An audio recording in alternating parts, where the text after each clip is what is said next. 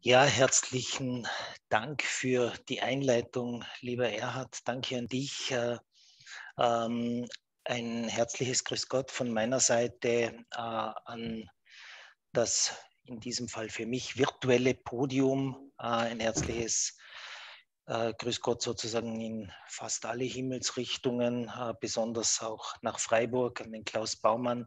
Wir kennen uns ja noch aus dem Caritas-Kontext, äh, ähm, aber ganz besonders ein herzliches Grüß Gott an alle interessierten Damen und Herren, Zuhörerinnen und Zuhörer, wie ich jetzt gelernt habe im Saal 59, falls ich das richtig verstanden habe, lieber Erhard, äh, auf der Ebene der theologischen Kurse am Stephansplatz in Wien, aber selbstverständlich, äh, wie mir die Regina vorher gesagt hat, an ähm, äh, den, äh, wie hast du gesagt, digitalen Endgeräten, ähm, äh, also an ihren Laptops, an äh, ihren PCs und vielleicht auch an ihren Smartphones. Ähm, ja, ein herzliches Grüß Gott an alle. Erhard hat es ganz kurz einleitend erwähnt ähm, und manche wissen es vielleicht auch noch. Ich war eben längere Zeit als Generalsekretär der Caritas Österreich sozusagen täglich zwischen den Themen des christlichen Glaubens, der Diakonie, der Caritas ähm, äh, und der Politik arbeitend. Ähm, äh, das war, durfte für, für diese Themen, für die Caritas arbeiten. Meist war es ein Dürfen, manchmal auch ein Dürfen müssen, denn die Herausforderungen waren und sind kräftig. Äh, ich erinnere an die Flüchtlingsthemen, an die Themen, äh, die jetzt immer wieder in den Medien auftauchen, wie Pflege, in Österreich ein großes Thema, bis hin zu Fragen der Armut, Armut weltweit, aber natürlich auch ganz nahe bei uns. Ähm, als kirchlich geprägter Mensch hat mich dabei immer wieder ein Satz von Jacques Caillot. Ähm, äh, er war mal Bischof und wurde dann als Bischof hier in die Wüste geschickt, wie manche von Ihnen, von euch wissen. Äh, ein Satz von ihm hat mich begleitet, der auch zugleich ein Buch von ihm ist. Äh, und viele kennen das Buch oder sicher den Satz, eine Kirche, die nicht dient, dient zu nichts. Äh, hat Jacques Caillot gesagt, geschrieben und äh, dieses Motto auch gelebt, eine Kirche, die nicht dient, dient zu nichts. Lieber Klaus Baumann, ähm, Sie oder du, wie gesagt, wir kennen uns aus der Caritas, wir haben uns in Berlin einmal äh, bei einem äh, Kongress auch äh, etwas ausgetauscht. Ähm, Sie oder du, Sie haben, du hast für heute Abend dir einige Gedanken gemacht. Ich bin so frech und wechsle in das Du. Du weißt ja, wir in Österreich sind da etwas spontaner. Ähm, äh, du hast dir einige Gedanken gemacht äh, im Sinne einer Kirche, die dem Menschen dienen sollte, einer Kirche äh, aus dem Blickwinkel der Caritas, einer Theologie äh, der Caritas. Ähm, das ist auch ganz stark äh, die Theologie unseres gegenwärtigen Papstes. Und äh, in der ähm, äh, Redeordnung, die mir der Erhard so zugestellt hat, darf ich dich als Ersten, vielleicht weil du am weitesten zugeschaltet bist, ähm, um dein Statement bitten. Erhard ist recht streng in der Zeit. Er hat mir äh, 15 Minuten sozusagen Maximalzeit äh, äh, aufgetragen. Du hast das sicher gut im Plan und darf dich um deine Worte und deinen Input bitten.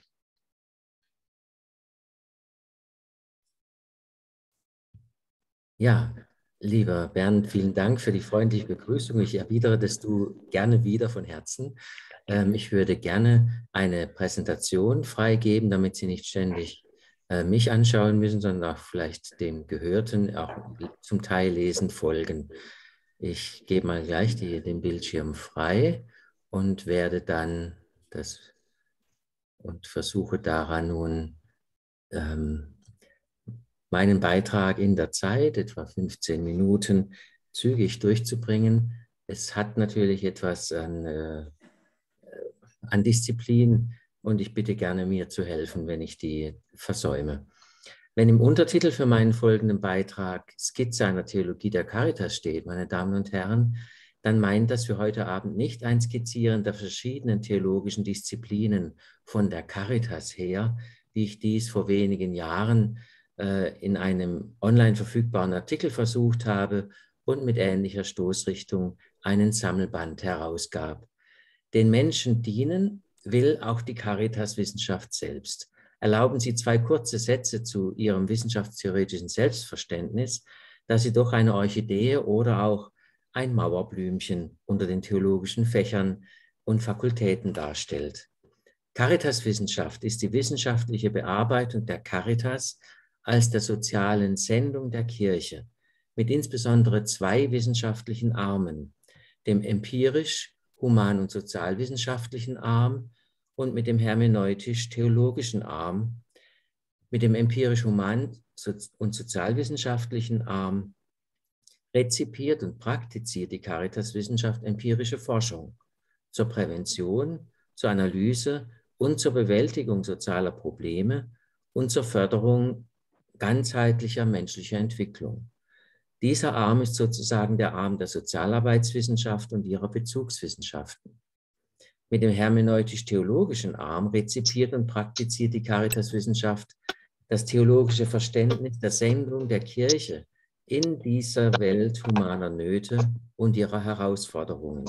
Sie klärt, vertieft und entwickelt das theologische Verständnis weiter, insbesondere in der interdisziplinären Interaktion beider Arme miteinander.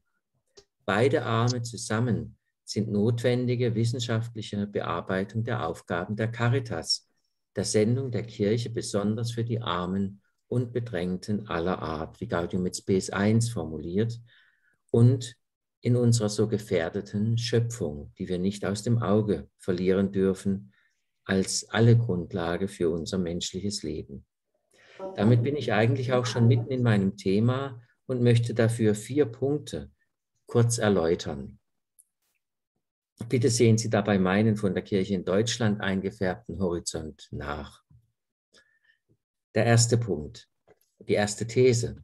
Die soziale Sendung der Kirche ist eine sakramentale Sendung und umgekehrt. Ich gehe vor allem auf den ersten Teil ein. Wer würde bestreiten, dass die Sendung der Kirche darin besteht, dass sie den Menschen dient? Gaillots Wort, das Bernd Wachter vorhin nannte, eine Kirche, die nicht dient, dient zu nichts, provozierte noch in den 1990er Jahren. Inzwischen, inzwischen findet dieses Wort umfassende Zustimmung. Wozu jedoch soll die Kirche dienen? Zu dogmatischer Rechtgläubigkeit und sexualmoralischer Strenge, wie dies Jahrzehnte nach dem Zweiten Vatikanischen Konzil katholischerseits kirchenamtlich dominierte und die Theologie mitunter strangulierte? Berühmt und geliebt ist die Eröffnung der Pastoralkonstitution des Zweiten Vatikanischen Konzils. Freude und Hoffnung, Trauer und Angst der Menschen von heute, besonders der Armen und Bedrängten aller Art, sind auch Freude und Hoffnung, Trauer und Angst der Jünger Christi. Und es gibt nichts wahrhaft Menschliches, das nicht in ihren Herzen seinen Widerhall fände. Von vielen, die dieses Wort zitieren, wird tiefenpsychologisch sehr interessant, der blau hervorgehobene Einschub weggelassen. Der gemeinte Widerhall in den Herzen der Jünger Christi ist dagegen eben jener, von dem schon im Matthäusevangelium Jesus Christus im Endgericht spricht und hoffte, dass es diesen Widerhall gibt. Ich war hungrig und ihr habt mir zu essen gegeben. Ich war durstig und ihr habt mir zu trinken gegeben.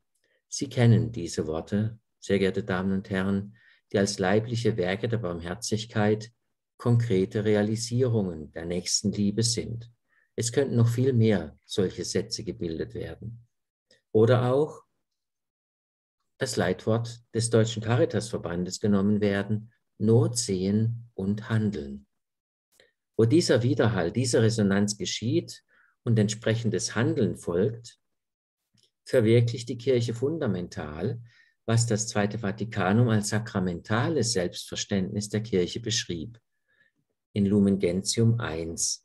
Die Kirche ist ja in Christus gleichsam das Sakrament, das heißt Zeichen und Werkzeug für die innigste Vereinigung mit Gott, wie für die Einheit der ganzen Menschheit. Benedikt XVI. fasste dies in die Kurzformel für die ganze Kirche. Sie hat eine Sendung im Dienst der Liebe, wo die Kirche ihre soziale Sendung lebt und Menschen zusammenführt, verbindet, Einheit schafft, so wie die Lumen Gentium 1 sagt, da ist sie Sakrament. Damit komme ich zum zweiten Punkt. Er geht um verkehrte Prioritäten der Kirchenkrise. Aus meiner Sicht fatal für die Rezeption wurde die Formulierung Zeichen und Werkzeuge in Lumen Gentium 1, weil sie in dieser Reihenfolge statt in umgekehrter Reihenfolge dasteht. Es steht da Zeichen und Werkzeug statt Werkzeug und Zeichen. Die Kirche will viel zu sehr Zeichen sein als Werkzeug. Dabei kann sie im Geist Jesu Christi Zeichen werden, wenn sie wirklich Werkzeug ist. Werkzeug eines Glaubens, der in der Liebe tätig wird. Wenn in den Kirchenkrisen versucht wird, der Kirche wieder ihre Glaubwürdigkeit zu geben, dann ist es genau der falsche Ansatz. Die Glaubwürdigkeit ist ein Nebenprodukt oder eine Folgeerscheinung dessen, dass die Kirche tut, wozu sie wirklich berufen ist. Stattdessen lässt sich aber eben in der aktuellen Kirchenkrise in Deutschland und wohl weltweit, auch im Gefolge der Missbrauchskrise und in der Unfähigkeit der Kirchenleitungen aus dieser Krise wirklich zu lernen, sehen, wie sehr es stets um das Ansehen und Erscheinungsbild der Kirche geht, um Selbstschutz des Klerus, zu dem ich übrigens gehöre, und der Hierarchie, statt um die Sorge für die Opfer von Unrecht, von Missbrauch und Gewalt, sei dies in der Kirche oder überhaupt in der Gesellschaft und Welt. Im Vorkonklave zu seiner Wahl sprach der spätere Papst Franziskus vom Narzissmus einer kranken Kirche, die sich nur um sich selbst dreht. Auch für die synodalen Bemühungen in Deutschland und weltweit ist diese Gefahr bei weitem nicht gebannt. Im Grunde war der Jesuitenkardinal Jorge Mario Bergoglio mit seiner Äußerung ganz in der Spur von Dietrich Bonhoeffer und Alfred Delp, zwei Märtyrern der Nazi-Henker. Dietrich Bonhoeffer schrieb vom Dasein für andere als Transzendenzerfahrung, Alfred Delp mit gefesselten Händen von der notwendigen Rückkehr in die Diakonie. Für mich ist es eine ökumenische Freude und zugleich ein Zeichen für das Wirken des Heiligen Geistes in Bonhoeffer und Delp, deren zentralen Worte meine dritte These bilden. Rückkehr in die Diakonie und Gotteserfahrung in Caritas. Bonhoeffer schrieb in Widerstand und Ergebung eindrücklich, unser Verhältnis zu Gott ist kein religiöses, zu einem denkbar höchsten, mächtigsten Wesen. Dies ist keine echte Transzendenz, sondern unser Verhältnis zu Gott ist ein neues Leben im Dasein für andere, in der Teilnahme am Sein Jesu. Nicht die unendlichen, unerreichbaren Aufgaben, sondern der jeweils gegebene, erreichbare Nächste ist das Transzendente. Und Alfred Delp kritisierte die wohl etablierte katholische Kirche, wie er sie erlebte, und forderte, das Schicksal der Kirchen wird in der kommenden Zeit nicht von dem abhängen, was ihre Prälaten und führenden Instanzen an Klugheit, Gescheitheit, politischen Fähigkeiten und so weiter aufbringen. Auch nicht von den Positionen, die sich Menschen aus ihrer Mitte erringen konnten. 2000 Jahre Geschichte sind nicht nur Segen und Empfehlung, sondern auch Last und schwere Hemmung. Von zwei Sachverhalten wird es abhängen, ob die Kirche noch einmal einen Weg zu den Menschen finden wird. Diese zwei Dinge sind die Rückkehr in die Diakonie und erfüllte Menschen. Delb wörtlich, der eine Sachverhalt meint die Rückkehr der Kirchen in die Diakonie, in den Dienst der Menschheit, und zwar in einen Dienst, den die Not der Menschheit bestimmt. Aus Zeitgründen kann ich diese eindrückliche Passage nur so kurz zitieren. Ebenso den zweiten Sachverhalt. Delb dies alles wird aber nur verstanden und gewollt werden, wenn aus der Kirche wieder erfüllte Menschen kommen.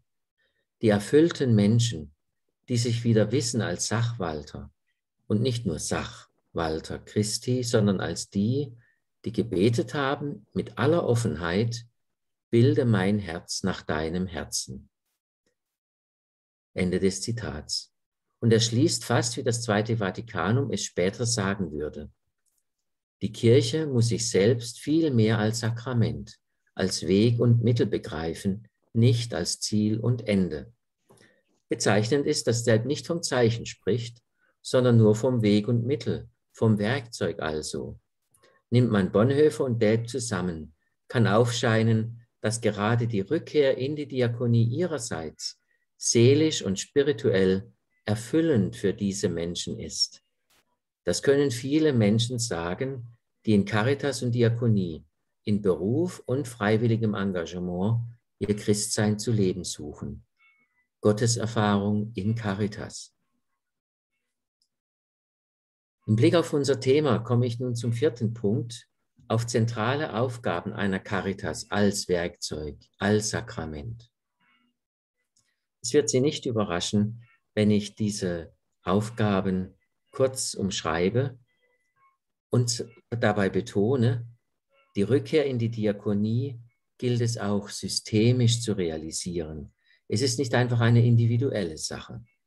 In diesem Sinne lassen Sie mich vier zentrale Aufgaben nennen, welche die Kirche als Caritas oder Diakonie, als Werkzeug und damit Sakrament prioritär mitten in der Gesellschaft und Welt von heute leben kann und zum Teil auch lebt. Beginnen will ich, nicht überraschend, mit dem ersten, mit personennahen Diensten oder Hilfen, Dienstleistungen besonders für die Armen und Bedrängten aller Art. Not zu sehen und ganz konkret zu handeln.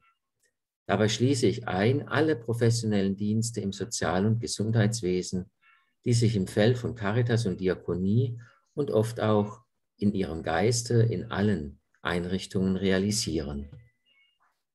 Das Zweite ist, und hier kommt die Caritas gerade auch in ihrer, ihrer organisationalen Kraft und Realität zum zur Auswirkung. Die Caritas will und soll Solidarität stiften in Kirche und Gesellschaft. Es ist wiederum nicht nur einfach eine Aufgabe des Zwischenmenschlichen und Nachbarschaftlichen, sondern hier geht es um Impulse für die gesamte Gesellschaft wie auch für die Kirche. Ich nenne beide, weil auch innerhalb der Kirche ist Solidarität zwischen den unterschiedlichen Gliedern der Kirche keineswegs selbstverständlich.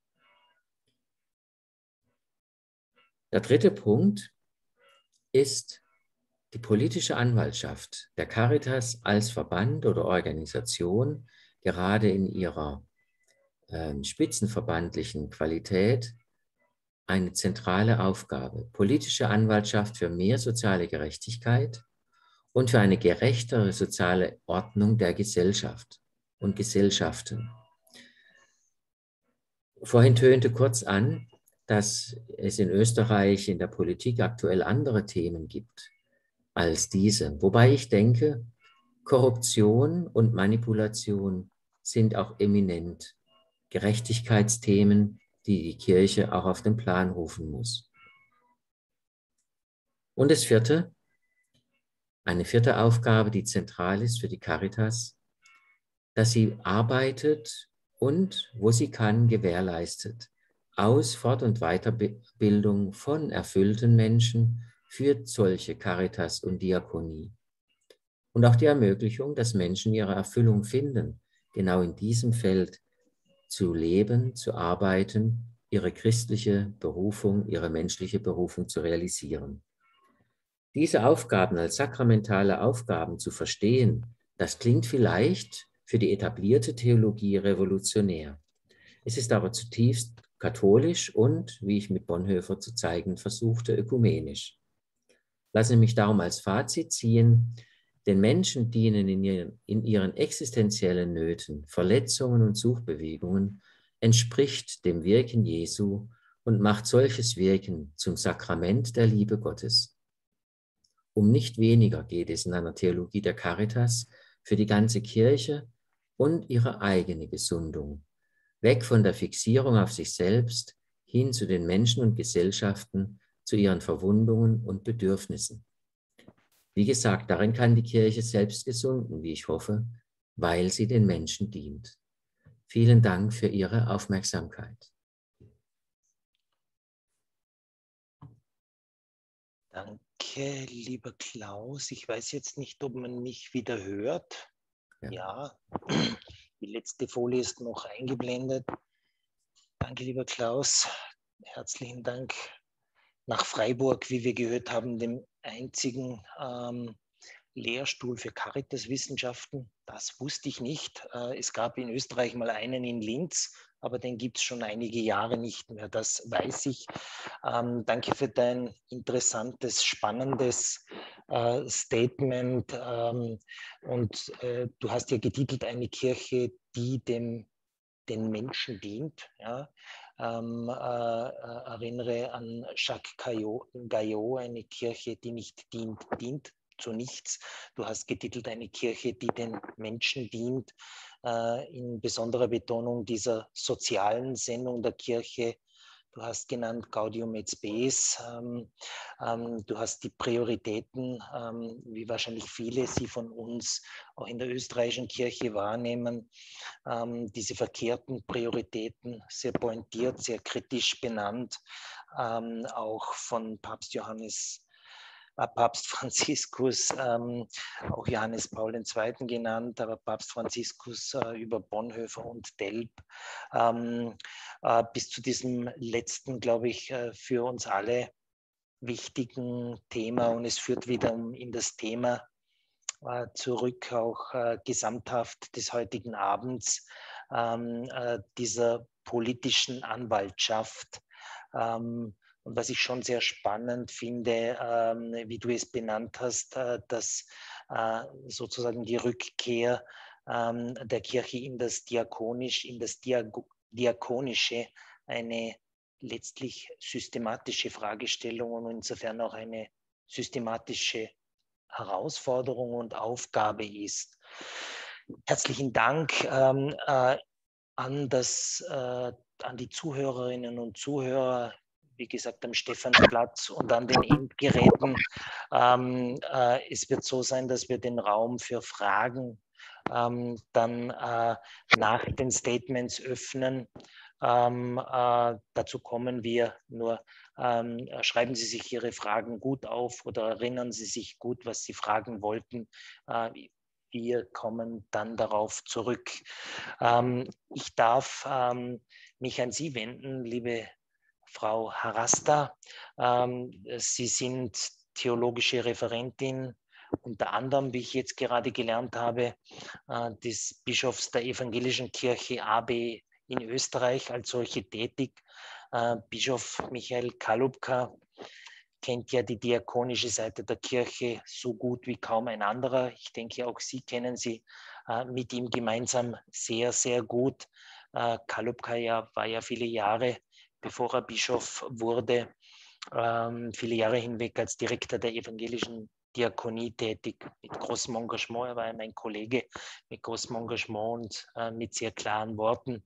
Ich habe von ihm oft gehört, dass sich der Glaube nicht ins Private, ich sage jetzt überspitzt, äh, sozusagen ins Biedermeierliche zurückziehen soll und auch nicht zurückziehen darf, ich vermute, Sie sind da mit Ihrem Bischof ähm, ähm, sehr einer Meinung ähm, ziemlich einer Meinung, aber dazu können Sie das eine oder andere vielleicht auch in Ihrem Statement erwähnen, auf das wir uns jetzt äh, sehr freuen. Und das Wort ist bei Ihnen, Frau Dr. Harasta.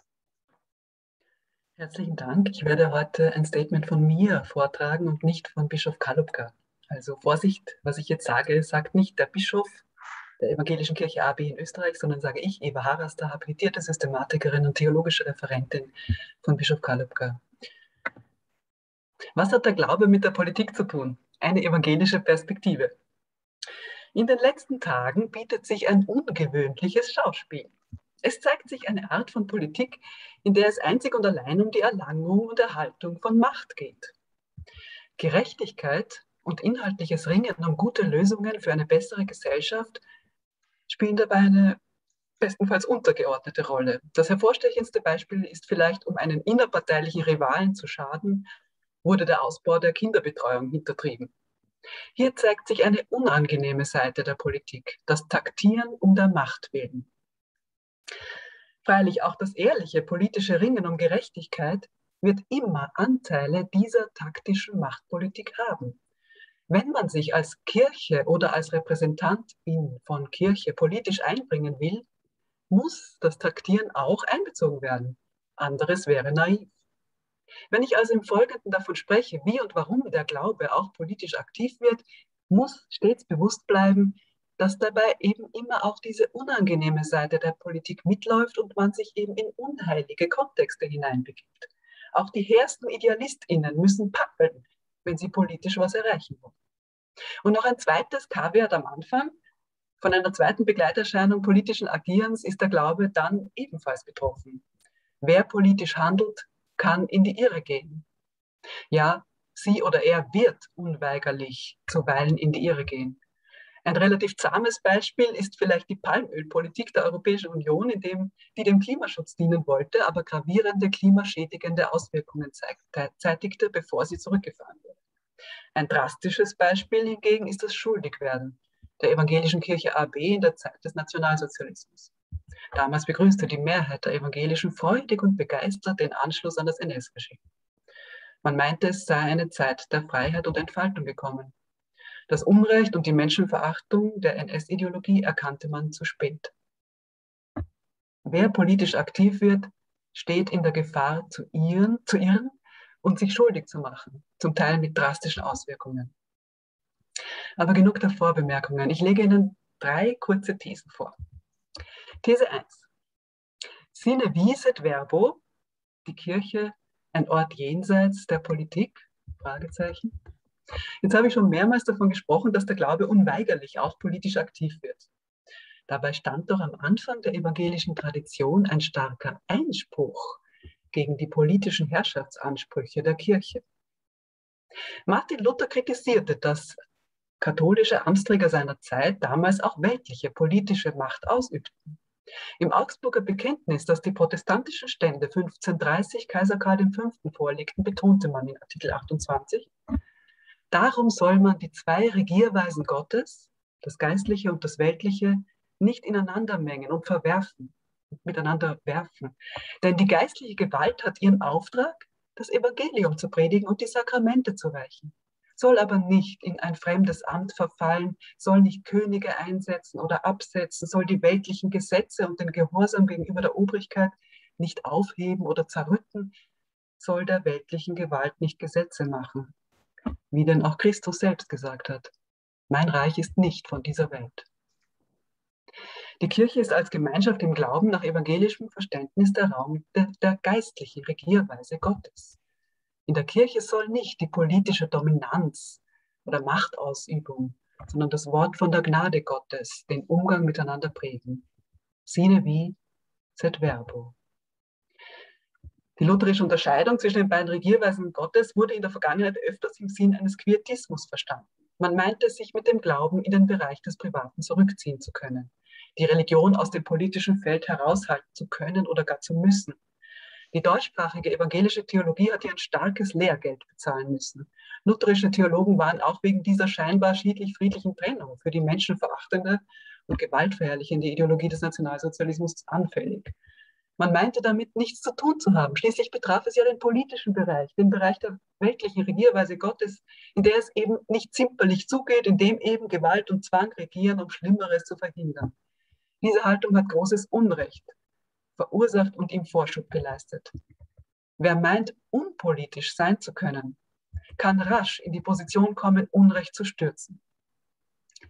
Diese Haltung ist aber auch eine Missdeutung der lutherischen Unterscheidung zwischen den beiden Regierweisen Gottes. Bei der weltlichen Regierweise Gottes, also dem politischen Bereich, geht es nicht um einen Bezirk, der irgendwie abgegrenzt und isoliert vom Leben der Glaubenden wäre. Es geht vielmehr bei den beiden Regierweisen Gottes, der geistlichen und der weltlichen, um unterschiedliche Kontexte, in denen man als glaubender Mensch lebt.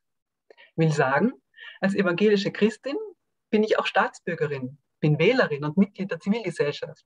Ich kann mein Handeln als Staatsbürgerin nicht von meinem Handeln als evangelische Christin trennen. Und weiter, als evangelische Kirche ist man natürlich zunächst eine Gemeinschaft im Glauben. Man ist aber auch eine Körperschaft öffentlichen Rechts, involviert in gesellschaftliche und politische Diskussionen, wie die einzelnen Mitglieder in ihnen involviert und von ihnen betroffen sind. Und man bringt sich ein mit weltanschaulichen Grundlagen, die sich der Staat nicht selbst schaffen kann. Ich möchte dazu ein Dokument des Lutherischen Weltbundes zitieren, bei dessen Entstehung ich auch selbst beteiligt war. Das Dokument heißt auf Deutsch Die Kirche im öffentlichen Raum und ist auf der Website des Lutherischen Weltbundes als PDF-Dokument zu finden. Ich zitiere Seite 9. Als Kirchen sowie als Christinnen und Christen sind wir von der Botschaft des Evangeliums geprägt, jener befreienden Kraft, die uns dazu befähigt, ein Leben zu leben, das die frohe Botschaft widerspiegelt. Die Wiederentdeckung der Rechtfertigung aus Gnade durch den Glauben während der Reformation war mit einer neuen Vorstellung von Gerechtigkeit in der Gesellschaft verbunden und veränderte Individuen, die Kirche und andere Institutionen. Die aus dem tieferen Verständnis der Botschaft des Evangeliums hervorgegangene geistliche Klarheit setzte erstaunliche Energien zur Förderung des gesellschaftlichen Wandels bei. These 2. Das Gewicht der Geschichte. Die Kirche immer schon in Politik verwickelt. Gerade habe ich es als theologisch grundsätzliche Aussage formuliert, dass die Kirche immer auch mit einem Fuß in der Politik steht, weil es ihr um Gerechtigkeitsfragen geht. Dieser Zusammenhang von Kirche und Politik lässt sich aber auch als geschichtliche Aussage treffen und auch differenzieren. Freilich ist es als geschichtliche Aussage weniger hehr und heroisch, sondern manchmal ein bisschen unangenehmer, wie Politik und Glaube miteinander verwickelt sind. Die Verwobenheit von Politik und Religion in der Reformationszeit zeigt sich schon am Augsburger Bekenntnis selbst. Diese Bekenntnisschrift ist nicht nur ein theologisches, sondern auch ein politisches Dokument. Sie gehört zu den Akten des Augsburger Reichstags von 1530.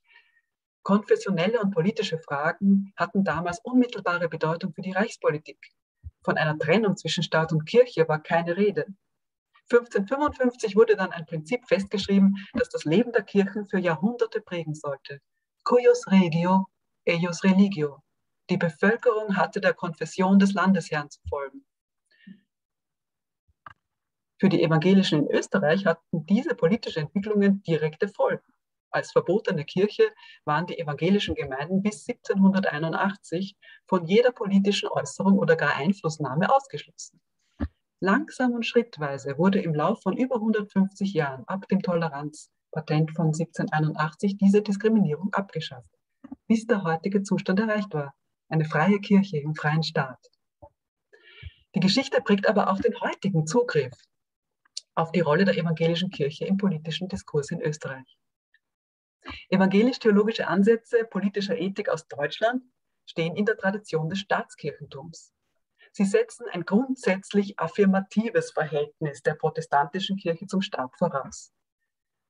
Die Kirche, in Deutschland zum Teil Mehrheitskirche, erscheint aus dieser Perspektive selbstverständlich als wohlwollende Beraterin der Politik auf Augenhöhe und als Moderatorin von politischer Entscheidungsfindung. Bis heute, denke ich, spielen diese Bilder eine Rolle, wenn RepräsentantInnen der deutschen evangelischen Landeskirchen sich öffentlich politisch äußern. Anders aber verhält es sich in Österreich. Hier hatte eine andere Konfessionskirche die Rolle der selbstverständlich einflussreichen Staatskirche. Die Evangelischen waren nie staatstragend unterwegs und hatten nie einen entscheidenden Einfluss auf die Politik. Vielmehr war es umgekehrt. Der Habsburger Staat übte aus politischen Motiven starken Einfluss auf die evangelische Kirche aus. Ein Beispiel. Vor ein paar Tagen haben wir 200 Jahre evangelisch-theologische Fakultät gefeiert an der Universität Wien. 200 Jahre. Die Lehranstalt für evangelische Pfarrer in Cisleitanien wurde 1821 freilich auch aus einem handfest politischen Interesse des Staates heraus gegründet. Der Staat wollte Kontrolle über die Ausbildung der Protestanten haben. Ein zweites Beispiel. Mit der Kirchenleitung der evangelischen Kirche AB in Österreich wurde lange Zeit eine staatliche Behörde betraut. Das Konsistorium war eine staatliche Behörde. So entsprach es der Auffassung vom kaiserlichen Episkopat. Nun, Franz Josef hat ja sogar den Papst eingesetzt. Kein Wunder, dass er auch die evangelische Kirche in Österreich äh, beherrscht hat. Diese staatliche Leitung der evangelischen Kirche wurde auch nach dem Ersten Weltkrieg erst einmal genauso weitergeführt. Der sich katholisch gebende Ständestaat betrieb dies ebenfalls weiter. Erst 1938 wurde der Oberkirchenrat entstaatlicht, ausgerechnet vom NS-Regime. Freilich auch natürlich mit einem politischen Motiv dieses Staates zur nationalsozialistischen durch die Ideologisierung der Gesellschaft sollte die Gesellschaft entkonfessionalisiert werden und Staat und Kirche deutlich getrennt werden. Erst nach dem Zweiten Weltkrieg kam es dann dazu, dass die evangelische Kirche AB eine freie Kirche im freien Staat werden konnte. Ab 1955 verhandelte man 1961, 100 Jahre nach dem Protestantenpatent, wurde schließlich das Protestantengesetz verabschiedet, das Bundesgesetz über äußere Rechtsverhältnisse der evangelischen Kirche. Es war also ein Anlauf von mehr als 150 Jahren, seit dem josephinischen Toleranzpatent bis die evangelische Kirche in Österreich im Protestantengesetz von 1961 die folgende, aus heutiger Sicht völlig selbstverständliche, geschichtlich aber epochale Zusicherung bekam. Ich zitiere, die evangelische Kirche ordnet und verwaltet ihre inneren Angelegenheiten selbstständig. Sie ist in Bekenntnis und Lehre und in deren Verkündigung sowie in der Seelsorge frei und unabhängig und hat das Recht der gemeinsamen öffentlichen Religionsausübung. Insbesondere ist sie berechtigt, selbstständig für alle oder für einzelne ihrer Angehörigen allgemein oder im Einzelfall verbindliche Anordnungen zu treffen, die innere Angelegenheiten zum Gegenstand haben. Wenn manche die Verrechtlichung unserer Kirche beklagen, sie ist auch ein Triumph, denn wir dürfen verbindliche Anordnungen treffen, die uns selbst betreffen. Diese Sätze legen aber die Grundlage dafür, dass die evangelische Kirche in Österreich sich auf Augenhöhe in den politischen Diskurs einbringen darf und kann und diese Verantwortung nun aber auch hat und sich einbringen kann für den reformatorischen Einsatz für eine gerechtere Gesellschaft. Im Bewusstsein freilich immer darum, simul justus et peccator zu sein, als, auch als Kirche gerecht und sündig zugleich und gerade im politischen Einsatz immer in der Gefahr zu irren auch, so sehr man sich für die Gerechtigkeit einsetzen will. These 3, kurz am Ende, Befreiungstheologie in einer demokratischen Gesellschaft. Für jede Zeit stellt sich die Frage nach der politischen Verantwortung des Glaubens und der Kirche eigens und besonders. Heinrich Bedford Strom, der Ratsvorsitzende der EKD und bayerische Landesbischof, entwirft die politische Verantwortung der Kirche als Befreiungstheologie in einer demokratischen Gesellschaft. Damit will er sagen, aus dem Glauben heraus gilt es, sich für eine gerechtere Gesellschaft einzusetzen, Während sich die klassischen Befreiungstheologen in Südamerika etwa oder auf den Philippinen im katholischen Kontext in, in Kontexten, staatlichen Kontexten bewegen, die von Unterdrückung und starken Ungerechtigkeiten geprägt sind, bewegen sich die Kirche in Österreich im Kontext einer Demokratie und eines Rechtsstaates, der kein Gerechtigkeits-Nirvana ist, aber trotzdem ähm, anders als eine Diktatur, in der man sich befreiungstheologisch engagiert, anklagend gegenüber dem Staat. Auch die evangelische Kirche ist seit 1961 vollends angekommen und darf sich also auch nicht vor der Verantwortung drücken, die damit einhergeht, eine zwar kleine, aber feine und vor allem freie Kirche in einem freien Staat zu sein. Oder um es noch einmal mit dem Dokument des Lutherischen Weltbunds zu sagen, für die lutherische Gemeinschaft war ein gerechtes und verantwortliches Handeln in Kirche und Gesellschaft schon immer ein zentrales Anliegen. Während die lutherische Gemeinschaft in früheren Jahrhunderten ihre Aufmerksamkeit überwiegend auf staatliche Autoritäten richtete, steht in unseren demokratischen und pluralistischen Gesellschaften heute die Bekräftigung der zentralen Rolle der Zivilgesellschaft und der Bürger und Bürgerinnen, die aktiv am öffentlichen Raum teilhaben, im Mittelpunkt. Unser Ziel als Christinnen und Christen ist es, alle Bereiche des öffentlichen Raumes für alle frei zugänglich zu halten und zu machen, ohne Einschränkung aufgrund eines Merkmals, wie zum Beispiel Hautfarbe, Kaste, Religion oder Geschlecht. Ich danke Ihnen für Ihre Aufmerksamkeit. Danke, Frau Dr. Harasta. Ich glaube, ich bin jetzt wieder hörbar. Ähm, äh, danke für Ihr Statement äh, selbstverständlich und ganz ähm, intensiv betont. Ihr Statement ähm, ähm, nicht in Sprachfunk, äh, Sprachrohrfunktion für Ihren Bischof verstanden. Ähm, das möchte ich noch unterstreichen. Selbstverständlich Ihr Statement, für das ich mich ganz herzlich bedanke, äh, auch im Sinne der Zuhörerinnen und Zuhörer.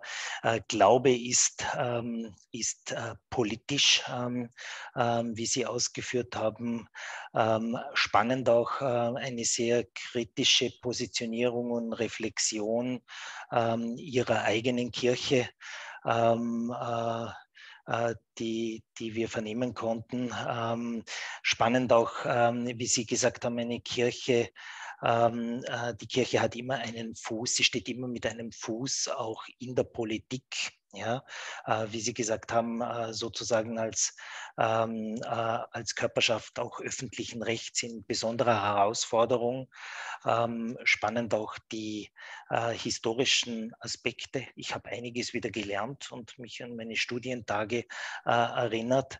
Ähm, äh, äh, auch diesen äh, politischen Diskurs auf Augenhöhe, den Sie betonen, ähm, und auch äh, wiederum äh, die Reflexion, dass ein Rechtsstaat noch nicht automatisch ein gerechter Staat ist ähm, ähm, und die zentrale Rolle äh, des zivilgesellschaftlichen Handelns, äh, ähm, die Sie am Schluss ähm, ähm, äh, erwähnt haben und äh, in besonderer Weise äh, positioniert haben. Herzlichen Dank, äh, Frau Dr. Harasta, für ähm, dieses spannende Statement und noch einmal äh, in Erinnerung gerufen, weil manche vielleicht, äh, manche von Ihnen schon mit Fragen scharren. Auf diese kommen wir dann auch zu sprechen und zurück. Also bitte Fragen notieren, falls es Ihnen so geht wie mir. Ich vergesse sie ansonsten immer wieder.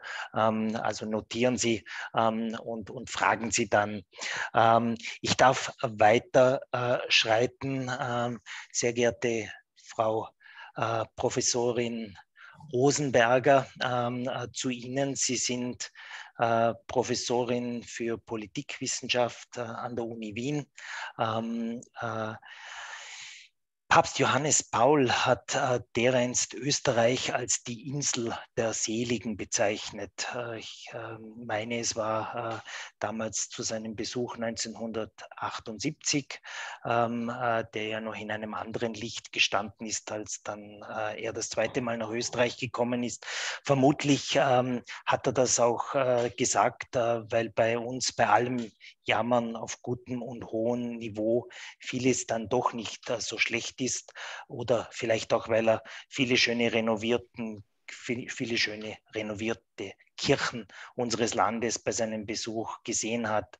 Tatsächlich war in Österreich, Stichwort Aussöhnung unter Kardinal Franz König mit der Sozialdemokratie und viele andere Aspekte, äh, ein entspanntes Miteinander zwischen Politik äh, und Kirchen, zwischen Politik und Religionsgemeinschaften äh, angesagt das hat sich, ähm, da hat sich in den vergangenen Jahren, so zumindest in meiner Wahrnehmung, äh, einiges gedreht. Denken wir an die Kirchenchats ähm, in den vergangenen Monaten eines ehemaligen Bundeskanzlers. Ähm, denken wir an die Wahlwerbung der Freiheitlichen Partei. Ähm, äh, und es würden mir jetzt auch bei anderen Parteien einige Punkte einfallen, die man erwähnen könnte. Äh, sozusagen die Frage, ist aus Entspannung Spannung geworden? Das Wort ist bei Ihnen, äh, sehr verehrte Frau Professorin Rosenberger. Ich darf Sie um Ihr Statement bitten und Dank den beiden Vorrednern, äh, dem Vorredner, der Vorrednerin auch für die zeitliche Disziplin. Also wir sind zeitlich ganz gut im Rennen.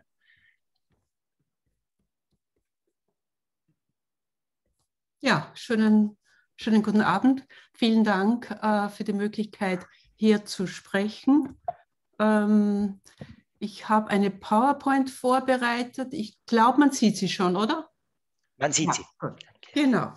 Ähm, ja, mein Thema Religion und Politik. Ein angespanntes Verhältnis verweist eher sozusagen auf die neuere, neueren Entwicklungen hin. Wenn ich mich mit Religion und Politik beschäftige, dann, also mir geht es also um zwei Sphären, gesellschaftliche Sphären, zwei Sphären, die miteinander in Beziehung treten. Das heißt, ich schaue mir jetzt weniger die Religion oder Religionen an und auch nicht per se Politik, sondern äh, ich versuche mich auf das Verhältnis zu beziehen und das Verhältnis ein bisschen auszuleuchten.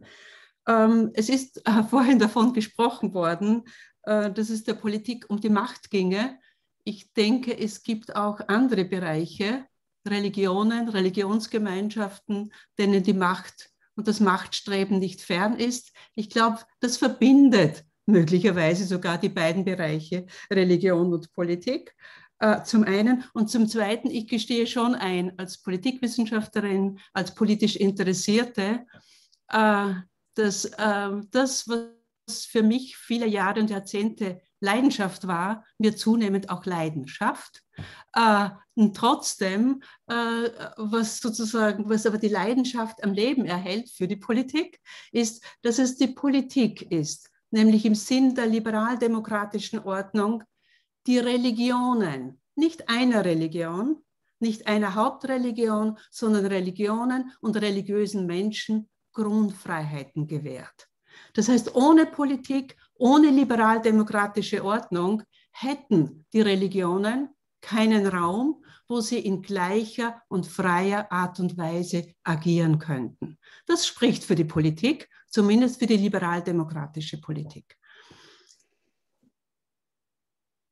Wenn ich, äh, mich, äh, wenn ich äh, von Religion spreche, dann meine ich sozusagen auf äh, geschuldet meiner Disziplin der Politikwissenschaft, meine ich äh, oder beziehe ich mich, referiere, referenziere ich auf Religionsgemeinschaften. Und ich glaube, das haben Vorredner und Vorrednerinnen auch schon, also indirekt zumindest erwähnt oder anders erwähnt, anders bezeichnet. Religionsgemeinschaften, sie haben eine Rolle für das gute Leben. Äh, sie haben eine helfende, eine dienende Rolle, aber und das, was ich interessant finde, ihre Rolle ist auch eine der politisch Handelnden, der politisch Mitgestalteten für ein sogenanntes gutes Leben. Und das ist die Frage, äh, inwiefern sich Religionen, Religionsgemeinschaften, das sind Kirchen, aber nicht nur Kirchen, Religionsgemeinschaften sich dieser, äh, dieser Aufgabe stellen, nicht nur zu dienen, für Arme, für Stimmlose etc., denen eine Stimme zu geben, sondern wie weit sie sich verstehen, das gute Leben mitzugestalten, in einem politischen Sinne. Wenn ich ähm, mich diesen Fragen widme, dann äh, sehe ich empirisch, dass äh, Politik im Sinne von oder als politische Entscheidungsträgerinnen, insbesondere ähm, gewählte Abgeordnete und Regierungen, auf der einen Seite und Religionsgemeinschaften auf der anderen Seite äh, sie in zwei Bereichen miteinander in Verbindung stellen. Bereiche, die unterschiedlich beurteilt, bewertet werden. Zum einen Politik und Religionsgemeinschaften, sie verhandeln Religionskonflikte.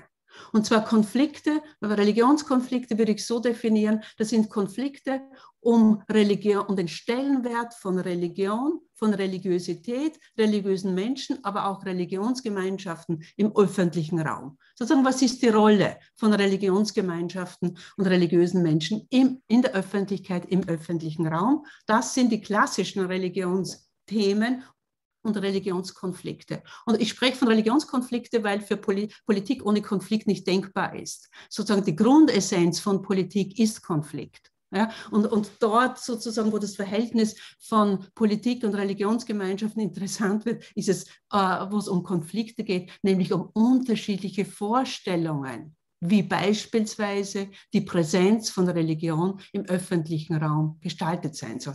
Das ist die eine Seite, die, glaube ich, auch relativ unbestritten ist, auch in der österreichischen Geschichte, äh, relativ un, äh, jüngeren Geschichte unbestritten war. Der zweite Punkt ist die Frage, inwiefern und in, inwiefern von der Intensität her, aber auch sozusagen in, den, äh, in welche Themen mischen sich Religionsgemeinschaften ein. Sie mischen sich ein, insbesondere in Gesellschaftspolitik und in die Sozialpolitik. Dazu gehört auch Flüchtlingspolitik etc.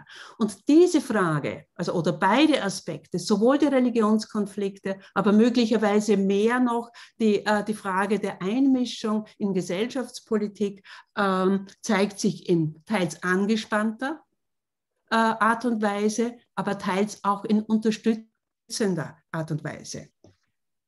Wobei ich, I think also, um, I need to. What I'm what I'm taking away is um, thinking more about the emotions people get and thinking more about what emotions I want them to take away from the facilitation facilitations I do. I'm I'm more uh, content based so far. Entschuldigung, äh, Entschuldigung. Ähm, äh, wir haben ähm, vereinbart, dass die Fragen äh, im Anschluss gestellt werden. Da hat sich vielleicht jemand zugeschaltet. Ähm, äh, äh ja, okay. Es kann, kann sein, aber ich, ich glaube, ich darf weitermachen jetzt. Absolut, bitte, bitte. Ja, ja. genau. Äh, also wir waren, also ich war bei dem Punkt, ähm, die sozusagen, wo wird die Beziehung, das Verhältnis, das angespannte Verhältnis virulent in religionspolitischen Fragen und in sozial- und gesellschaftspolitischen Fragen. Ähm, Wobei, äh, wenn ich von äh, äh, sozial- und gesellschaftspolitischen Fragestellungen äh, spreche, dann und an Religionsgemeinschaften denke, dann würde ich sagen, dass die Religionsgemeinschaften in der Zweiten Republik in Österreich nicht per se die Proponenten dafür waren, für mehr Gleichheit, für mehr Freiheit. Sie haben sich insbesondere auch für Ungleichheit und für Unfreiheit äh, engagiert. Und das war ja eine Zeit lang auch äh, der große Konfliktpunkt, äh, den es zwischen Religionsgemeinschaften, Kirchen und äh, Politik gegeben hat.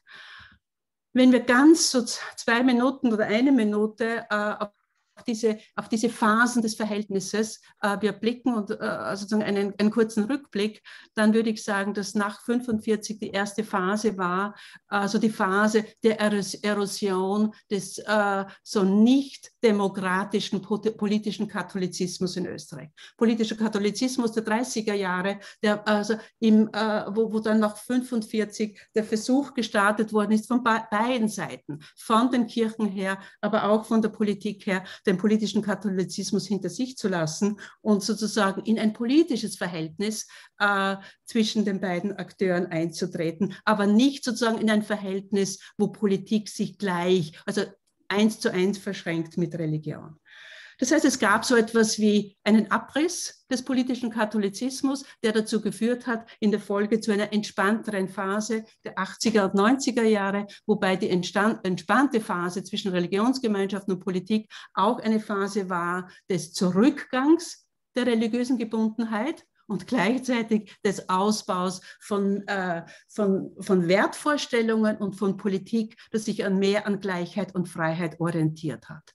Wir sind heute sozusagen in einer neuen Phase, wo wir es mit neuen Konflikten, mit neuen Spannungsverhältnissen zu tun haben und wo wir aber wieder drinnen sind, äh, wo, es um Freiheit und Gleichheit, aber in einer anderen äh, Strukturierung es sich handelt. Mein Argument, das ich in den nächsten fünf Minuten noch behandeln möchte, ist, dass wir derzeit in einer Situation in Österreich sind, wo Religion als Thema der politischen Debatte an Bedeutung massiv gewinnt gleichzeitig aber Religionsgemeinschaften in der politischen Sphäre an Bedeutung verlieren. Und zwar alle. Das heißt, wir haben ja eine gegen, gegenläufige, äh, eine gegenläufige Entwicklung. Das heißt, die, die Möglichkeiten der politischen Mitwirkung schwinden. Das ist sozusagen der Punkt, der in der Religionswissenschaft ein Stück weit anders diskutiert wird, als wir ihn in der Politikwissenschaft diskutieren. Die Möglichkeiten politischer Mitwirkung schwinden nicht, weil die Säkularität zunehmen würde, weil sich die rechtlichen Grundlagen der Kooperation verändern würden, sondern weil wir es mit einer Änderung der politischen Ordnungsstrukturen zu tun haben. Und das macht sozusagen den wesentlichen Unterschied aus. Nicht die Veränderungen in der Gesellschaft, mit Religiosität und Säkularität oder Veränderung im rechtsstaatlichen Bereich. Vorhin ist der Begriff des Rechtsstaates gefallen. Nein, im rechtsstaatlichen Bereich haben wir keine Veränderungen, aber wir haben Veränderungen in bestimmten Vorstellungen des politischen und Ordnungsstrukturen. Und ich habe sozusagen meine These ähm, in der Debatte eine anwachsende Bedeutung der Religion, in der Handlungsfähigkeit ein Verlust von Religionsgemeinschaften. Und ich denke, diese beiden Bilder bringen das, ich hoffe, Sie sehen beide, bei mir, ich bin ja zeitlich, sind die Fotos einge, eingeblendet. Äh, diese beiden Bilder bringen das sehr schön zu Rande sozusagen her. Eine, eine, eine Schwester, die Schwester Notburger, in einem Kloster in Hall in Tirol, wo sie sich für seit Wochen, Monaten für die Flüchtlingsfrage engagiert, teilweise zusammen mit Bischof Klettler, aber sie trotzdem in ihrem Engagement politisch völlig einflusslos, marginal am Rande bleiben. Das zweite Foto, ich hoffe, man sieht es ausreichend, äh, das, also ein kürzliches Foto von einer Wahlfahrt nach Mariazell, äh, die kirchlichen Würdenträger mit dem Bundeskanzler in der Mitte. Man könnte meinen, sozusagen Politik in der Mitte, Religion in der Mitte aber in, äh, in einer Ebene, die vor allem sozusagen eine Ebene der Symbolpolitik und des Diskursi Diskursiven da ist. Das ist sozusagen diese Kontrastierung, die ein Stück weit äh, die, also meine These zum Ausdruck bringt. Damit komme ich äh, so um die beiden Seiten derselben These, nämlich Bedeutung der Religion als politisches Thema, aber nicht als religiöses Thema zu beleuchten. Die eine Seite dieser äh, äh, der, der, Münze ist die, dass wir sozusagen eine Rückkehr von Religion in den politischen Raum haben, aber eine Rückkehr über bestimmte Symbole, über bestimmte streitige Themen, auch der Freie Sonntag oder der Karfreitag, Religionsunterricht, aber insbesondere sozusagen über Kreuz und politischem Islam. Sozusagen damit ist äh, dominiert Religion nahezu die politische Debatte. Und in dieser Dominanz taucht auf, dass wir zwei ambivalente Religionsverständnisse zur selben Zeit beobachten können. Zum einen Religion als Kultur, äh, mit Präsenz in der Öffentlichkeit, zum anderen Religion als Privatsache, wenn es um eine Minderheitsreligion geht. Und diese beiden Religions, also äh, Verständnisse von Religion aus der politischen Perspektive, sie sind gleichzeitig. Also sie sind sozusagen die beiden Seiten einer, einer Medaille, nämlich Aufwertung und Privatisierung von Religion gleichzeitig. Zum Zweiten, also die Kehrseite dieser, der Einflussverlust von Religionsgemeinschaften, ich denke, den können wir auch an eine Reihe von Aspekten äh, aktuell äh, beobachten, also weniger Involvierung in die politische Sphäre über, über, äh, über Praktiken, die, die sich religionspolitisch, aber auch gesellschaftspolitisch vor allem auch religionspolitisch in, der, in, den letzten Jahrzehnten herausgebildet haben. Zum einen, äh, zum zweiten interessant ist auch, dass die, die Entscheidung die äh, Politiker und Politikerinnen, die sozusagen in Entscheidungspositionen sind, immer weniger eine christliche, eine politische Sozi Sozialisation als christliche Sozialisation erfahren haben.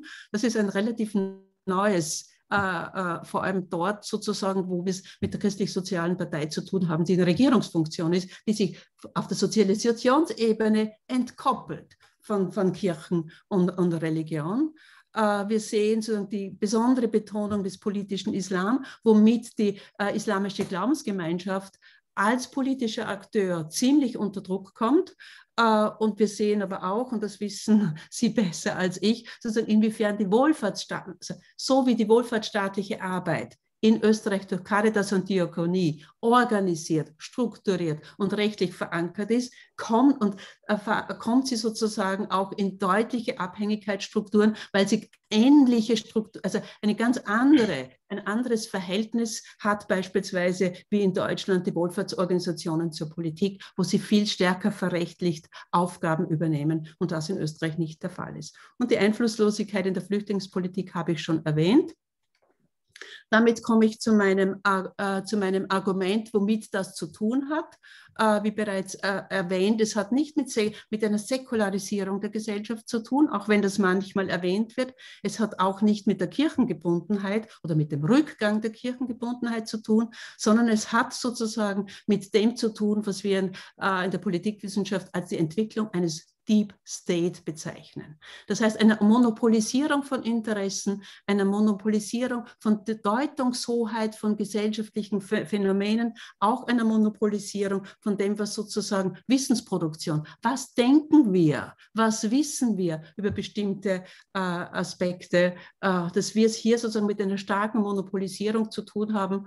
Kürzlich, äh, also ganz ein praktisches, praktisches Beispiel. Je mehr Zentralisierung wir in, in der Flüchtlingspolitik haben, in der Sozialpolitik haben, desto stärker sozusagen ist die staatliche Deutungshoheit, die staatliche Wissensproduktion und sie ist sozusagen nicht geteilt auf verschiedene äh, Segmente, auch nicht sozusagen auf Religionsgemeinschaften, Caritas und Diakonie das schöne Zitat, das wir das äh, ein Stück weit zu, äh, zu den Problemen der KSÖ, der Katholischen Sozialakademie in Österreich geführt hat, äh, muss ich jetzt nicht wiederholen. Es ist bekannt, äh, so, aber es ist sozusagen, es passt sich in diese Logik hinein, dass kritische Stimmen äh, sozusagen nicht gewollt sind und wenn sie trotzdem erhoben werden, finanzielle Konsequenzen damit einhergehen. Das ist der eine Punkt. Der zweite Punkt, wir haben es zu tun mit einer engen Verschränkung von Religionspolitik und Migrationspolitik. Und äh, in diese Aufwertung von Religion ist die Aufwertung von Religion und Christentum als abendländische Kultur. Es ist aber nicht sozusagen eine Aufwertung von Religion und Christentum als religiöse Wertvorstellungen, wie vor, sie vorhin zitiert worden sind von den Vorrednern und Vorrednerinnen, ja, helfen, dienen etc. Also wunderschöne Worte, aber das sozusagen widerspiegelt sich derzeit nicht äh, im politischen Alltag, aber auch nicht im Verhältnis zwischen Politik und Religionsgemeinschaften. Und ich glaube schon, dass das Problem dabei ist, dass säkulare Parteien in dieser Situation an Deutungshoheit verlieren und dass es sozusagen christlich-soziale Parteien sind, die äh, zu dieser Situation wesentlich beitragen. Was tun? Mein Schlusswort. Äh, was tun? Was sollten Religionsgemeinschaften in dieser Situation tun? Ich denke, dass Religionsgemeinschaften mehr denn je Zivilgesellschaft sein sollten. Also nicht nur Kirche, Machtkirche, Staatskirche oder was auch immer, sondern mehr denn je Zivilgesellschaft, dass die Eliten der Religionsgemeinschaft durch Zivilgesellschaft oder durch zivilgesellschaftliche Gruppierungen die religiöse Naheverhältnisse zu stärken sind. Aber mindestens so wichtig, und das ist ja auch nicht immer so deutlich, dass religiöse Eliten der Religionsgemeinschaften, religiöse Initiativen und wohlfahrtsstaatliche äh, Initiativen ebenso zu unterstützen hätten. Der erste Punkt. Der zweite Punkt. Ich denke, dass in dieser Situation der Entwicklung eines Deep State ähm, äh, religiös, religionspolitisches Handeln über Konfessionen hinweg notwendig ist, nämlich sachpolitisches Handeln. Und der dritte Punkt, der ist auch von meiner Vorrednerin schon äh, von anderen Seiten her schön angesprochen worden, Religion. Religionen selber haben sich als politisch zu betrachten. Und zwar im Sinne von als politisch betrachten, nämlich die politischen Konsequenzen von Handeln von Religionsgemeinschaften, das religiös affirmiert ist, zu berücksichtigen. Das heißt, sich gegen äh, politische Vereinnahmung zu wehren, aber auch und mindestens so sehr gegen religiös fundamentalistische Vereinnahmung zu, wehr, zu wehren. Wenn wir hier ein Stück, ein Stück weiterkommen, dann bin ich sozusagen wieder ganz zuversichtlich in die liberal-demokratische Ordnung. Das Verhältnis von Religion und Politik. Vielen Dank. Danke, Frau Professor Rosenberger, für diesen spannenden äh, Input, für diesen spannenden Bogen. Ähm, Religionen, Religion gewinnt an Bedeutung in der politischen Debatte und andererseits äh, der Verlust an Bedeutung ähm, der Religionsgemeinschaften. Ganz eindrücklich in Ihrem Vortrag ähm, dieser wunderbare Vergleich der Schwester Nordburger aus Hall ähm, und ähm, der Wallfahrt nach äh, Maria Zell. Ähm, auch äh, Ihre Pointe in Richtung äh, Religion als äh, äh, sozusagen Kulturgut verstanden zu wollen, äh, ich denke, der Wunsch mancher Parteien äh, oder politischen Repräsentanten, ähm, ähm, äh, auf der anderen Seite eben ihre, ihre Ansage, Religion in das Private zu drängen, vor allem dann, wenn es um den Islam geht. Ähm, die Punkte der Flüchtlingspolitik ganz stark hängen geblieben bei mir und wahrscheinlich bei einigen Zuhörerinnen, kritische Stimmen beseitigen zu wollen, Deep State, ein mir äh, neuer Begriff, ähm, den ich heute gehört habe, den ich mir äh, merken werde. Und ähm, danke auch ganz spannend. Ähm, Sie haben sozusagen schon äh, einige ähm, mögliche äh, Handlungswege aufgerissen. Äh, ganz herzlichen Dank, äh, Frau Dr. Rosenberger, ähm, für diesen Input und auch im Blick auf, das, auf die Zeit ähm, darf ich last but not least zu dir, liebe äh, äh, Regina kommen. Ähm, liebe Regina, äh, äh, wir kennen uns schon ein, zwei Tage. Äh, insofern äh, danke auch, dass ich beim Du bleiben darf. Du hast mir vor etlichen Jahren einmal bei einem Abendessen gesagt, religiöse Sozialisation ähm, begünstige illiberale Haltungen. Religiöse Sozialisation begünstige illiberale Haltungen. Das hat mir damals ähm, im Nachdenken über, über, dein, über diese Ansage und im Nachdenken meiner eigenen Sozialisation äh, das Kauen kurzfristig beim Abendessen nicht erleichtert. Ähm, wir konnten aber das dann alles friedlich aufklären und haben meines Wissens das Essen auch miteinander friedlich beendet. Spannend war und ist es allemal, was du damals gesagt hast und auch immer wieder sagst, äh, das Politische gehört konstitutiv zu einem biblisch begründeten Glauben. Das Politische gehört konstitutiv zu einem biblisch begründeten Glauben. Das Politische ist ein selbstverständlicher Teil von Kirche und Theologie, wie du immer wieder betonst. Nachsatz, ob das nun gefällt oder nicht gefällt. Liebe Regina, ich darf dich ähm, um dein Statement bitten. Danke, lieber Bernd, für die freundliche Begrüßung und die Erinnerung an dieses Gespräch. Meine Einschätzung diesbezüglich hat sich nicht verändert. Ich kann sie nur besser begründen äh, als vor zehn Jahren, glaube ich. Äh, ich habe auch eine PowerPoint-Präsentation mitgebracht. Die werde ich jetzt freigeben, wenn ich das schaffe. Jawohl. Sieht man das? Man sieht es, Regina. Wunderbar. Danke. So, ja. Die Frage, die mir gestellt worden ist von den theologischen Kursen, hat gelautet, warum muss theologische Bildung politisch sein? Und ich möchte diese Frage in drei Schritten beantworten. Erstens aus empirischer Perspektive, zweitens aus theologischer Perspektive und drittens mit einer Frage oder mit ein paar Ideen, was heißt das eigentlich für die Praxis äh, der Kirchen und näher in der katholischen Kirche. Ich habe auch zwei Bilder, die sehr heterogene Assoziationen freisetzen. Heinz-Christian Strache mit äh, seinem Kreuz, Sie erinnern sich, äh, unter Vereinnahmung des Christentums für seine Argumentationen und Papst Franziskus im Gespräch mit Migranten und Migrantinnen. Zu den empirischen Gründen. Sozialwissenschaftliche Studien belegen nach wie vor einen handfesten, signifikanten Einfluss von Religiosität auf politische Einstellungen. Und auch wenn wir aus der letzten 2017er 17er europäischen Wertestudie wissen, dass dieser Einfluss mittlerweile deutlich erodiert, wirken historische, kulturelle und konfessionelle Prägungen durch die christlichen Kirchen europaweit bis heute nach. Das möchte ich anhand einiger empirischer Ergebnisse belegen. Bereits 2010 konnten Löck Hallmann und Will Arz in der europäischen Wertestudie für ganz Europa zeigen, dass ein sogenanntes normativ religiöses Selbstverständnis signifikant mit politikrelevanten Einstellungen zusammenhängt. Das heißt, Personen, die hohe Zustimmungswerte bei Indikatoren haben, die Religiosität messen, setzen ihr Vertrauen stärker auf autoritative Institutionen wie das Militär und die Polizei und weniger auf Parlament und Zivilgesellschaft. Sie bevorzugen bei Erziehungswerten Autorität vor Autonomie, zeigen höhere Ablehnung von ethnischen und anderen Minoritäten und bevorzugen kulturelle Homogenität.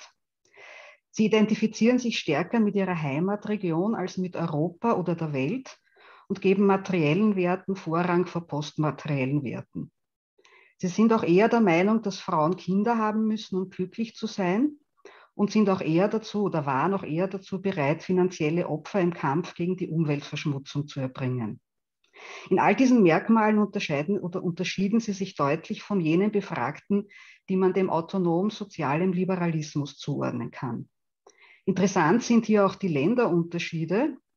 Äh, wir haben auf der einen Seite Länder, wo diese normativ-religiöse Dimension sehr stark ausgeprägt ist, wie beispielsweise Italien, Griechenland, Polen, Kroatien, Ungarn und Rumänien. Und auf eine, am unteren Spektrum, also dort, wo diese äh, Dimension weniger stark ausgeprägt ist, Dänemark, Finnland, Schweden, die Niederlande und Frankreich. Und Österreich liegt hier vergleichsweise in der Mitte. Zweites Beispiel, in der jüngsten äh, europäischen Wertestudienwelle 2017, an der wir gerade unter dem Titel Values, Politics and Religion arbeiten, haben wir uns die Zusammenhänge näher angesehen, um herauszufinden, äh, ob, ob Religiosität tatsächlich der einzige Erklärungsfaktor für diese Zusammenhänge ist. Das heißt, wir wollten wissen, welche Religiosität begünstigt Einstellungen, die eine antidemokratische Tendenz haben. Gerd und Susanne Pickel, die sich dieser Frage gewidmet hatten, dokumentieren einen ambivalenten Einfluss von Religiosität. Personen, deren Religiosität sich mit sozialem und gesellschaftlichem Engagement, also einer konkreten Praxis verbindet, haben eine Tendenz zu prodemokratischen Werten, während Personen, deren Religiosität eher traditionell kirchlich dogmatisch orientiert ist, besorgniserregende Tendenzen zu Einstellungen haben, die die liberale Demokratie gefährden. Also beispielsweise Autoritarismus, Ablehnung von ethnischen Minoritäten und Ablehnung von Pluralität. Mein Kollege Dirk Schuster und ich wiederum haben festgestellt, dass Religiosität erst in Kombination mit soziodemografischen Merkmalen einerseits und religionspolitischen, näherhin islamfeindlichen religionspolitischen Diskursen antidemokratische Tendenzen zeigt. Das heißt im Konkreten, ältere Personen und Personen in ruralen Gebieten und Kleinstädten sowie Menschen mit niedrigem Einkommen weisen signifikant häufiger Religiositäten auf, die sich gegen Prinzipien der liberalen Demokratie wenden. Äh, was die Auswirkung islamfeindlicher Diskurse angeht, sind diese einerseits unabhängig von Religiosität, wie zum Beispiel in Tschechien. Aber dort, wo die Bevölkerung mehrheitlich noch sehr religiös ist, wirkt Religiosität wie ein Verstärker antidemokratischer Einstellungen. Damit bin ich beim dritten Befund und das deckt sich mit dem, äh, was die Siglinde Rosenberger auch in einer ihrer Thesen äh, festgestellt hat. Die Studie Being Christian in Western Europe des Pew Research Center zeigt, dass ein christliches Selbstverständnis Funktionen eines kulturellen Identity-Markers übernommen hat, insbesondere bei Katholiken und bei, bei, bei Personen, die regelmäßig den Gottesdienst besuchen. Das heißt, christliche Identität dient dann dazu, sich einer je nationalen Kultur zuzuordnen und zugleich damit sich von Migranten und vor allen Dingen von Muslimen und deren Kultur abzugrenzen, beziehungsweise diese auch auszugrenzen. Damit bin ich bei den theologischen Gründen. Auch hier wieder zwei Bilder. Der Exodus äh, und die Gerichtsverhandlung zwischen Jesus und Pilatus. Diese theologischen Gründe kann ich hier natürlich jetzt nicht umfassend ausführen, möchte mich aber auf die biblische Dimension äh, fokussieren. Die theologischen Gründe zeigen die Notwendigkeit, sich auch theologisch diesem Thema Politik zu widmen, weil viele der eben skizzierten äh, antidemokratischen politischen Einstellungen auch mit einem christlich-theologisch reflektierten Selbstverständnis nicht kompatibel sind.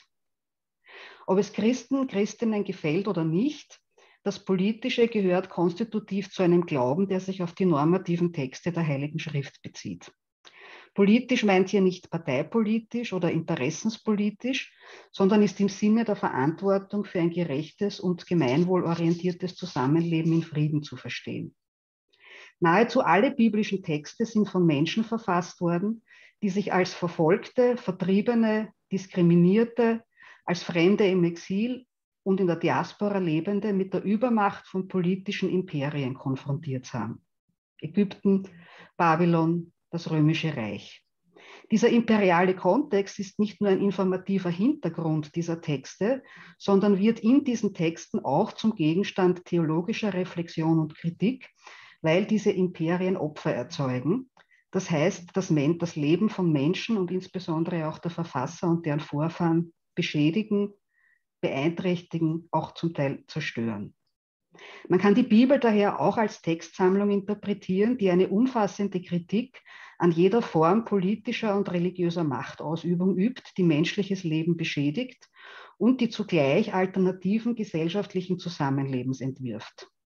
Die Kritik an Pharaonen jedweder Art, die Option für alle, die in einer Gesellschaft marginalisiert sind, biblisch sind das Arme, Witwen, Weise, Fremde und Kranke, der Stellenwert von Recht und Gesetz zur Etablierung einer gerechten Gesellschaft, die Anerkennung von kultureller Pluralität.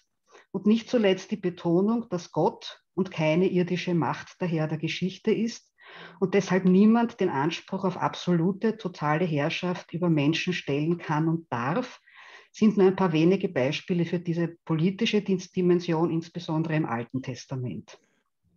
Aber auch der Tod des Jesus von Nazareth erfolgt an der Schnittstelle von religiöser und politischer Macht.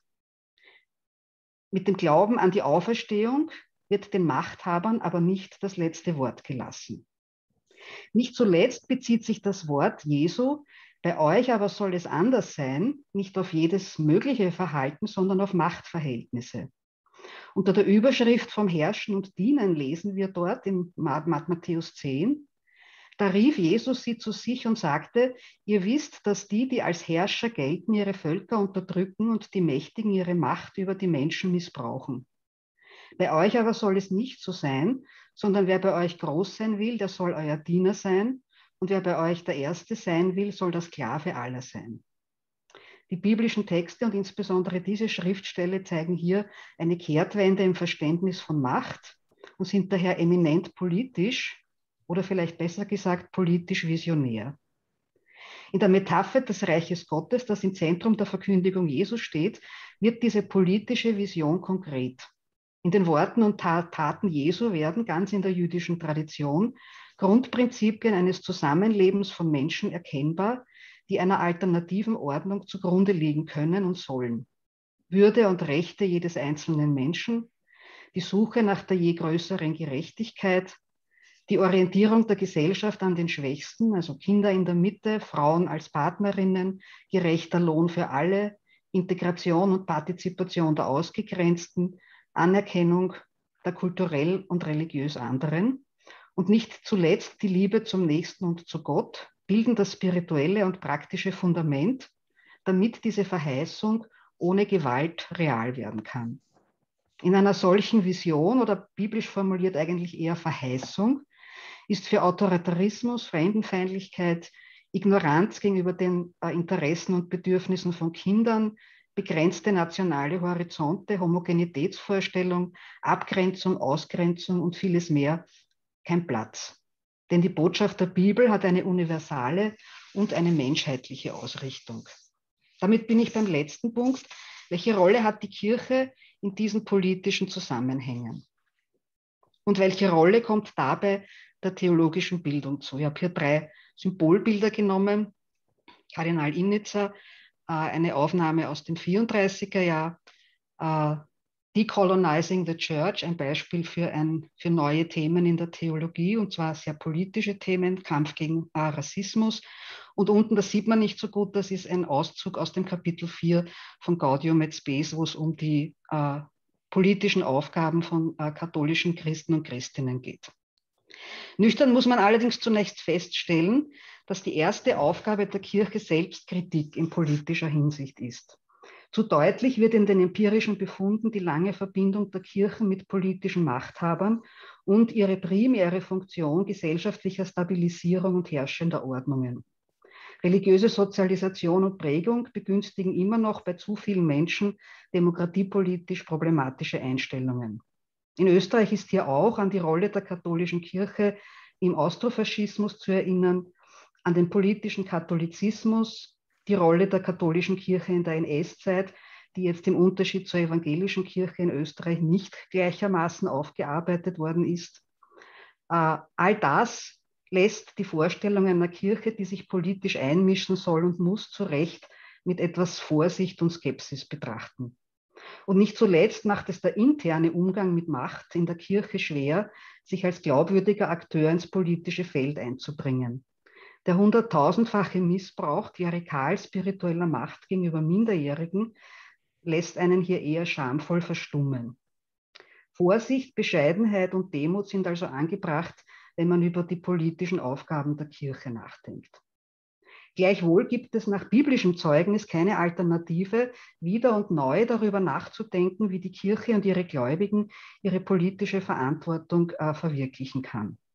Auch die Erinnerung an die durchaus positiven Beiträge der Kirche zum politischen Zusammenleben in der Kirchengeschichte verpflichten dazu und zeigen, dass dies durchaus möglich war und daher auch ist. Ja, tatsächlich, solche positiven Beiträge gibt es. Ich erwähne das Buch von Michael Mitterauer, Warum Europa, der darin gezeigt hat, dass bis in die Neuzeit hinein die Kirche maßgeblicher Akteur bei, man sollte es nicht glauben, Demokratisierungsprozessen und auch der Befreiung von Frauen war und der Etablierung von Werten wie Gleichheit, Würde und Armutsbekämpfung. Auch die Pastoralkonstitution Gaudium et Spes spricht im vierten Kapitel die Gläubigen ausdrücklich auf ihre politische Verantwortung hin an und formuliert darin Prinzipien, Kriterien und auch ganz konkrete Aufgaben politischen Handelns.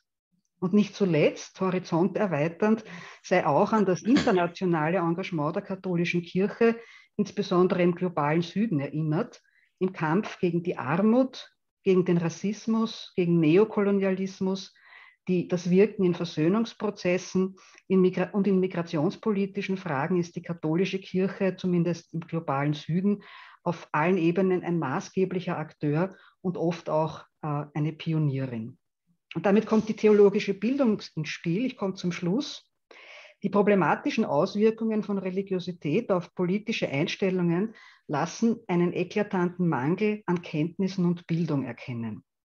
Viele Katholiken in Europa und Katholikinnen kennen die diesbezüglich eigene Tradition wie auch die globale Praxis der Kirchen nicht. Will man also die Fehler und die Schuld der Vergangenheit nicht wiederholen und zugleich ein fundiertes, reflektiertes und verantwortetes Verständnis eines zeitgerechten politischen Handelns der Kirche und der Gläubigen entwickeln, kommt man um theologische Bildung, die der Frage nach dem Politischen entsprechend Raum gibt, gar nicht umhin. Nicht zuletzt die Fülle der multiplen globalen Krisen der Gegenwart, die Migration, die Klimakatastrophen, die Pandemien und die zu erwartenden Finanzkrisen verpflichten uns dazu. Danke für die Aufmerksamkeit.